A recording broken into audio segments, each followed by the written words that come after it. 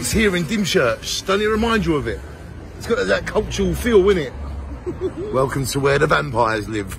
Welcome to Dymchurch. Mwah.